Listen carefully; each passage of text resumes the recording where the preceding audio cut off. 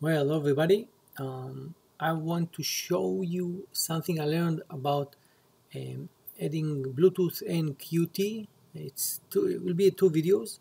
I did already a video about uh, Qt5 with the Mesa 3D Galileo VC4 driver, end-to-end solution uh, with Bluetooth and I ran all the examples on the Raspberry Pi and everything is working fine eventually. It took some time, but everything is working, so I have a video, you can watch it. In this series of video, I want to start with the Qt5 again, but now with the Raspberry Pi userland um, drivers and uh, uh, applications. So basically there are two options to use the OpenGL. One is the using the Mesa 3D and one is using the uh, Raspberry Pi userland.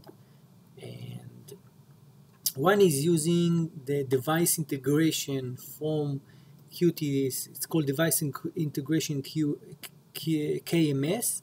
And the second one, the RPI userland, is using device integration BRCM. So if you see in the internet two kind of device integration, KMS and um, EGLFS KMS or EGLFS BRCM, you, you will know that EGLFS KMS is using the Mesa 2D, EGLFS uh, BRCM is using the RPI userland. So, um, suppose we want to start.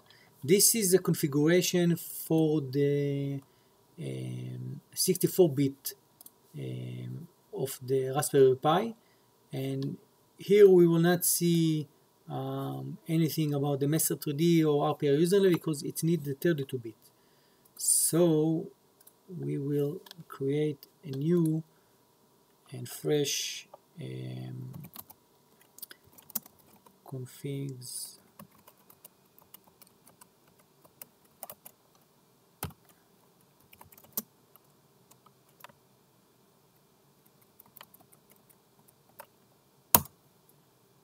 Okay and xconfig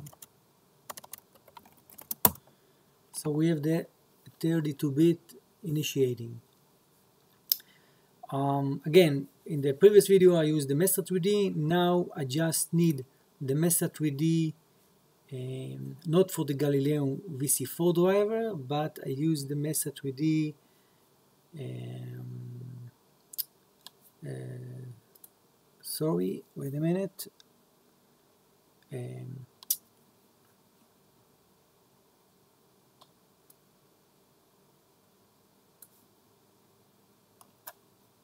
okay. Let's start from the beginning. Okay. We choose ARM in the compiler toolchain. We select the external because we want external toolchain with G glibc and this is okay. Now we have um, Qt5 and uh, Xorg because if we select the internal toolchain we need to use glibc and wchar so um, let's select for example xorg and for the xorg server let's enable the server and I will tell you why I do it because I just need the keyboard okay? This this will give us Qt5 will give us the keyboard otherwise the keyboard, uh, keyboard will not work. Also what we need is libx um, xvc for the keyboard and lib uh, okay. So what we need here is the uh, userland RPI userland. Okay this one. Once we have this one we can go to the to the Qt5 this is by the way Qt4 you can go to Qt5 and select GUI module OpenGL OpenGL module. We will select the PNG for application that use uh, uh, graphic support uh, DBus and also the declarative. This is the Qt Quick QML support. And uh, that's it. Oh EGLFS support this is very important. This is the EGLFS support. And remember this EGLFS support with the userland will give us a device integration of EGLS uh, uh, FS underscore BRCM and basically I hope that I remember everything. But if not everything is documented here. Um, let's see. Okay this is for the Bluetooth. Uh, we are not talking about it just now. Um, there is a little bit uh, mix here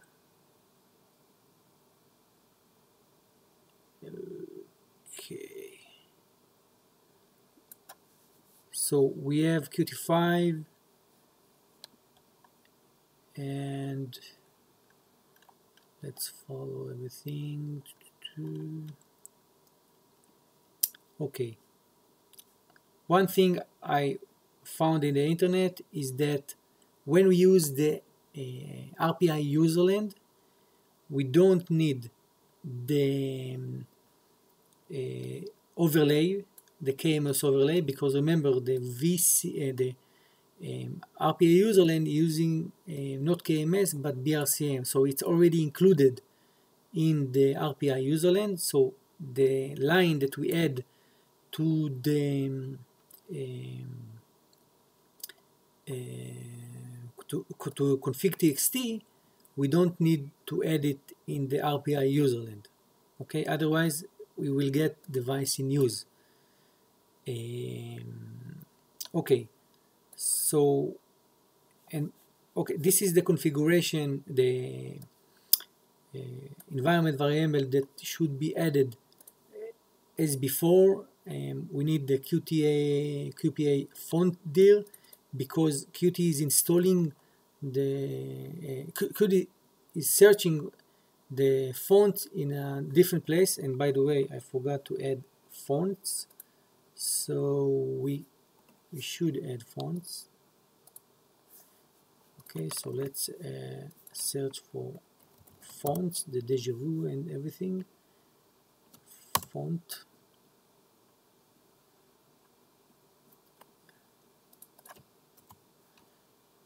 Uh, in a font awesome all the fonts.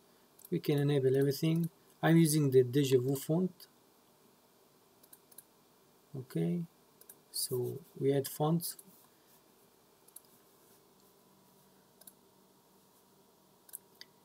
Um, and I tell him that the fonts eh, Buildroot is installing the font in user share fonts deja vu and because Qt is searching it in some somewhere else like user lib fonts and doing a link doesn't work so telling him where the font will be solve the problem of the font Enable terminal keyboard will give us the control C option to exit from the um, application without need to reboot. Um, EGLFS integration, as I told you, actually we don't need to put it, but it's nice to have because it does use the EGLFS BRCM. And uh, we told about the DT overlay we don't need to put. And final conclusion regarding the this mode. So up to now, I managed to to um, uh, get the quick control example working, but for example for the maroon, which I able to run on the VC4 Galileo Mesa 3D and set up a KMS, whatever, let's call it this big name. Um, I able to run the maroon in all the examples, but here I, the maroon and other kind of example give me bus error. So I didn't investigate it uh, much, but at least some basic application like uh, all the quick controls are working and also my own compilation. This is the demo of the quick controls. This is from uh, from Qt um, creator when you create creator with quick control 2 this is the low word um, so this is also working on the on the Raspberry Pi 3 and uh, this is what uh, I said before in order to get because at the beginning we, without initializing the Xorg and the keyboard um, I didn't get the keyboard working so I initialized the this driver and it does it does help. Okay. And as summary everything I like to add the summary of compiling the Qt in command line. This is the only way I managed to compile it not using the Qt creator but still it's working for me. It's uh, I like it um, this is the summary of how to do it. Actually it's taking the build root environment. You uh, I'm telling the um, using the activate script where is um, uh, all the compilers okay? And the compile script is using the QMake from build root generating using the mkspec using uh, generating the make file. And uh, running this will create us the make file. And the mk spec should be changed or should be created a new one for our compiler. So the compiler that uh, Linaro is uh, generating is called ARM Linux gnueabihf G++ and we need to create a file in the uh, mkspec under qt base mkspec we need to create another file. So what you need to do is just copy uh, cp-r copy the directory one of the directory of the arm and replace all the naming to this name with this prefix. So you create a, um, a file and so this is the directory I'm using. So activate sh is the path to the compiler and the compile is the configure using the mk specs. Running activate then running compile generate us a make file. And once we have the make file we can type make and um, generate the hello world. Once the hello world is ready we can copy it using scp to the target and run it on the Raspberry Pi. So that is it. Um, this video um, explaining how to use the Qt5 with the userland. It's not perfect, I know. Um, not all the examples are working. Um, currently, I leave it because I have the Mesa 3D with the KMS overlay working fine for me. So if I need all the full features, it does work. If someone knows or find out why I get this bus error, you can uh, please mention it in the description below. Um, thank you very much and uh, have a good night.